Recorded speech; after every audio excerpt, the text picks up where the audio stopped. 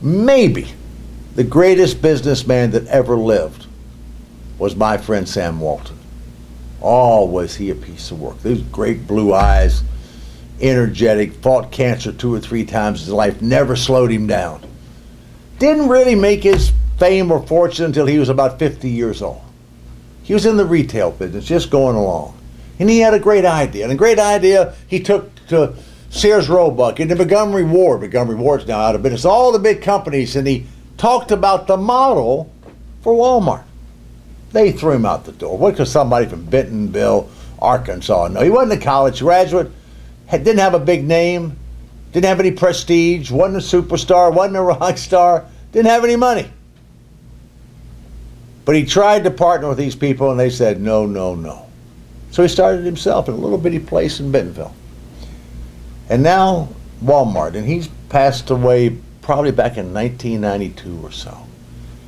And Walmart's the biggest company in the world, employs more people than anybody in the world. It's just unbelievable retailer. He took a, a concept, retail concept, not technology, cash intensive, and took this idea. You know his idea was?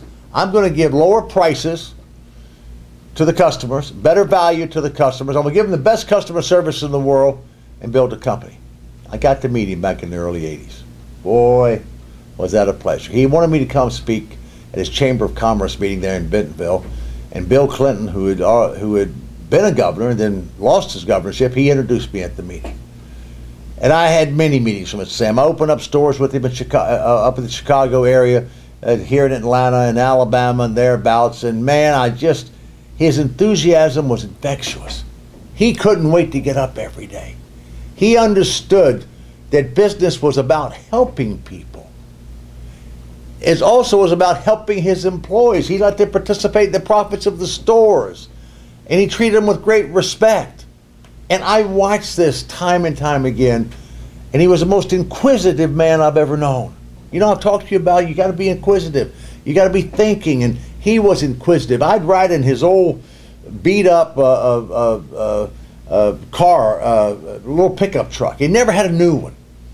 And one day I walked in there and I sat down in there and something was under my seat. There was an old rotten apple core.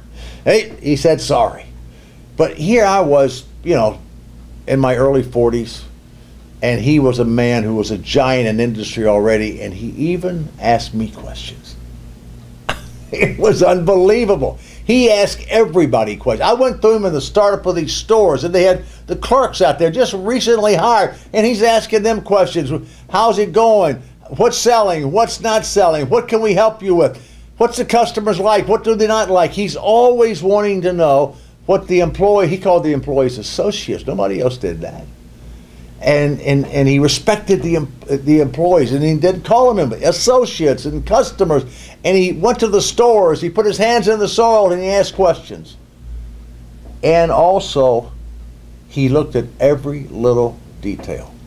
I went to, on Saturdays. He would have uh, still. I think Walmart still has them. He'd have all the managers in in Bentonville come at eight o'clock on Saturday morning, have a four-hour management meeting. They came in their hunting gear and so forth, and it was it was great, and it was a big big celebration. And I I went to many of them with him, and and this one particular time he was having trouble with shrinkage. That's when you know people are stealing goods out of his retail stores, and the shrinkage was going from you know one quarter of one percent to one half of one percent, and that was costing them millions of dollars.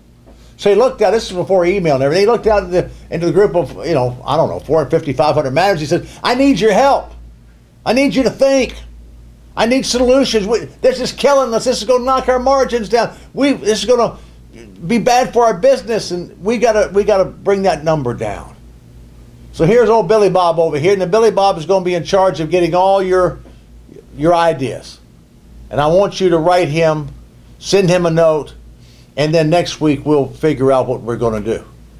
It's going to come from them.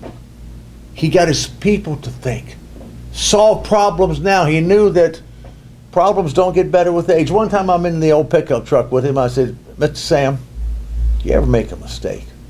He blue eyes his. He laughed at me. He said, Well, sure, I made a lot of. I said, Tell me one. Just tell me one. He said, Well, well, it's a big one. I knew people wanted low prices. They wanted great value. And I knew that and I executed that. But what I didn't know, they want low prices and great value, but they want branded goods.